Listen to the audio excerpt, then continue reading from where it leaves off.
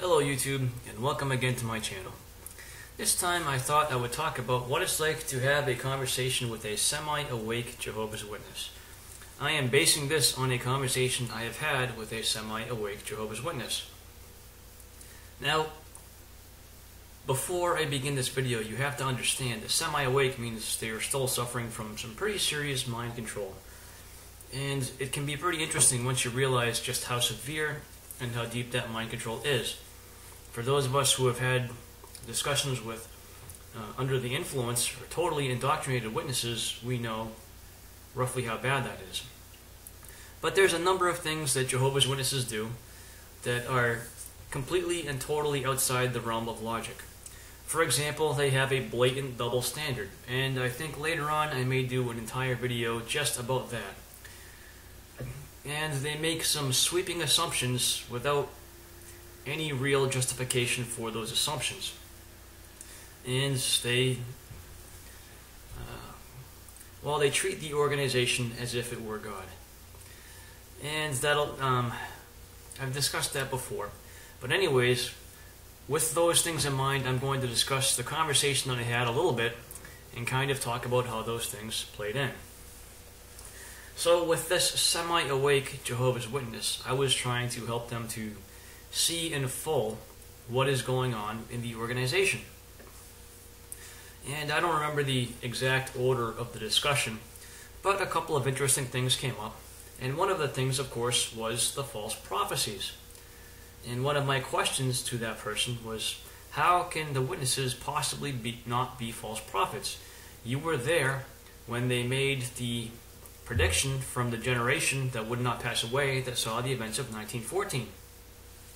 The response to that is, well, they've had false expectations before, wrong expectations. I said, well, but this is God's organization. You have seen in the insight book the fact that speaking in someone's name indicates speaking as a representative of that person, which means they speak in God's name. You have also seen in the insight book that claiming to be directed by spirit is the same thing as claiming inspiration. So the organization that is speaking in the name of God, that claims to be inspired by Him, put these things in print and they preach them as if they were the words of God. And the response was, well, they've had wrong expectations, so that's happened from time to time. So then I said, well, if those are just wrong expectations, then that means it would be okay for you to raise your hand at the Watchtower study and comment and say, you know, this overlapping generation seems kind of stupid to me.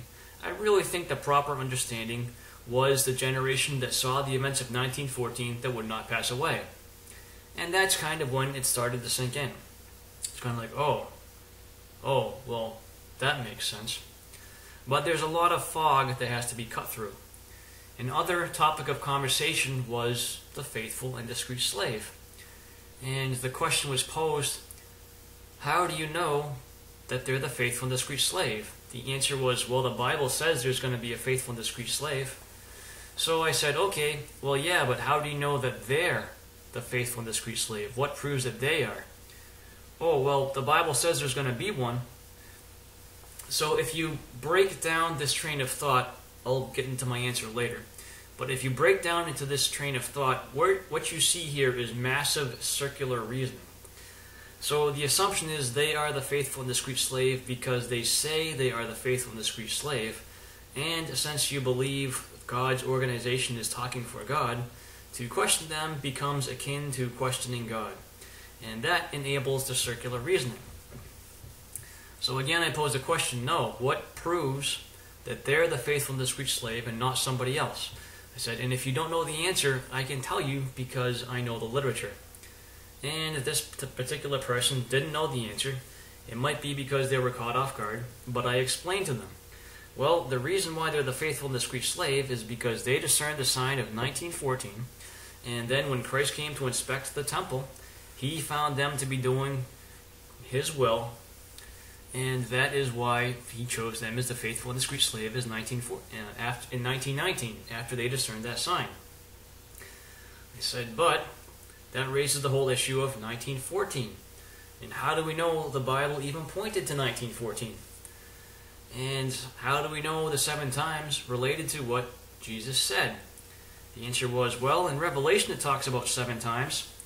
And of course, that is not true. Revelation talks about three and a half times in two different places, but it doesn't talk about seven. And on top of this, Daniel chapter 4 refers to the seven times as being fulfilled upon Nebuchadnezzar with no indication at all that there is to be any future fulfillment. So I said, why are we to believe that there should be any other fulfillment of the seven Gentile times? I said, when did Jesus refer to seven Gentile times? And I just got, kind of got a blank look.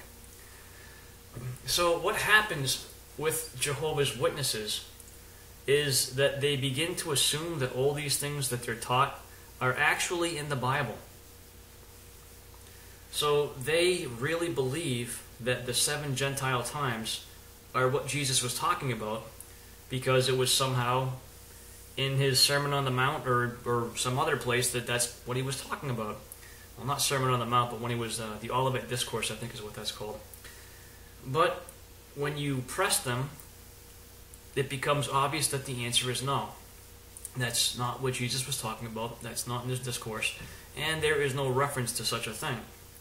And then, in addition to that, of course, is the fact that the weight of historical evidence, the irrefutable weight of historical evidence, proves that Jerusalem could not have been destroyed in 607. It had to be 586 or 587. The only question in year is because the Bible lists two years as the date for the destruction. So, that was addressed.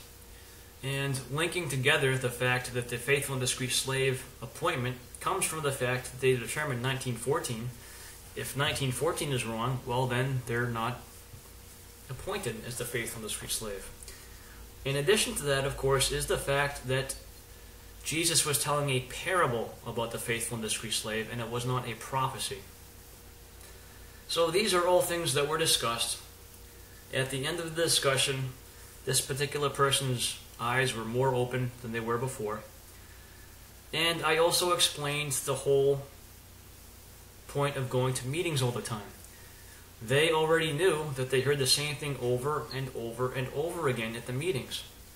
I said that's part of indoctrination. It was, uh, I think, Joseph Goebbels, the propaganda minister for the Nazis, said if you repeat the lie often enough, it becomes the truth. So I, I told this person, I said the reason why it's a sin for you to miss meetings to them, or why they get concerned, is because when you stop hearing the same type of thing over and over and over, the indoctrination can start to wear off. Your eyes can start to open. That is why it is so important for them that you attend every single meeting. So that helps to open their eyes a little bit as well. And after the conversation, their eyes were once again more so open. However, this particular person, their entire life is centered around being one of Jehovah's Witnesses. And here is the catch is that if you are a good Jehovah's Witness, your life will be centered around being one of Jehovah's Witnesses. So, when you open your eyes and you see what's going on, you realize that you have to walk away from your entire life. All of your friends, all of your social activities, that's all gone. You don't have any other friends to go to if you're a good Jehovah's Witness because you don't associate with people who aren't Jehovah's Witnesses. They are called worldly people. Worldly people are looked down upon. And even if they're good people, they're still considered to be not servants of Jehovah, and therefore they're dangerous because they might draw you away from serving Jehovah. So, when a true believer, as Jehovah's Witnesses, has their eyes opened, it's a very scary prospect all of a sudden they find themselves living in a parallel universe where everything they know is entirely wrong and they don't necessarily know how to go about putting their life back together or even starting a life because they have all these harmful mechanisms that were instilled by the cult. And they're so used to being in the cult that all they can do is talk about cult things, think cult thoughts, and it's scary to have to Start to think your own thoughts for the first time in perhaps decades. So, many of us perhaps have uh, individuals that we would like to talk to and that we would like to wake up. And it is not an easy task. There's a lot of factors that go into it.